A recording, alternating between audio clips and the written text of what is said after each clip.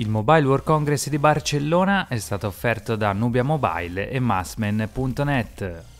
Cari lettori di pianetasmart.it, amici delle recensioni Guerzi 86, ecco la prima particolarità dal boot di LG, LG Stylus 3. Vedete qui nella mia mano ho un pennino, pennino che ci permetterà di interagire, come per esempio avveniva anche sul Note 7 prima che Samsung ovviamente sappiamo tutta la nostra storiella, eh, si può tranquillamente interagire, interagire con un'interfaccia proprietaria, ci permette di andare a prendere delle quick memo al volo oppure di eh, fare degli screenshot, di salvare qualche testo, il pennino è molto morbido e devo dire anche molto rapida eh, la sua interfaccia, vedete si può andare tranquillamente a prendere una nota al volo, eh, è un po' plasticoso ecco, quando eh, proprio la, la, punta della penna tocca il nostro display, forse anche il display stesso eh, non è leggermente scivoloso, questo ci permette comunque di utilizzarlo vedete, in maniera abbastanza precisa se dobbiamo prendere le note al volo. Ovviamente non stiamo parlando di un top di gamma, non è un'alta fascia, è un dispositivo che ha un display da 5.7 pollici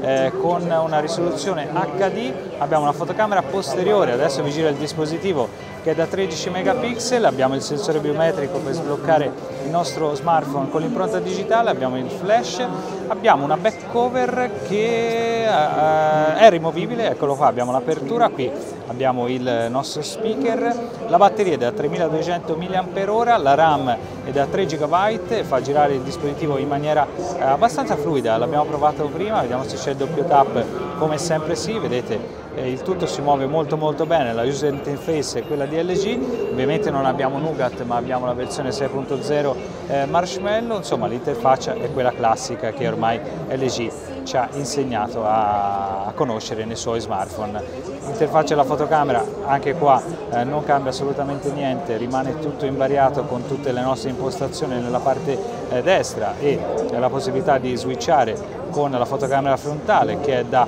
ehm, 8 megapixel per le nostre foto selfie, insomma un prodottino davvero molto interessante, visto anche il sensore biometrico nella parte posteriore, una scocca con un simile, simile alluminio rigato, lo vedete eccolo qua nella sua back cover e la possibilità di andare a riporre il nostro pennino in questa zona qua e quindi avere un dispositivo sempre più rivolto a un'utenza business.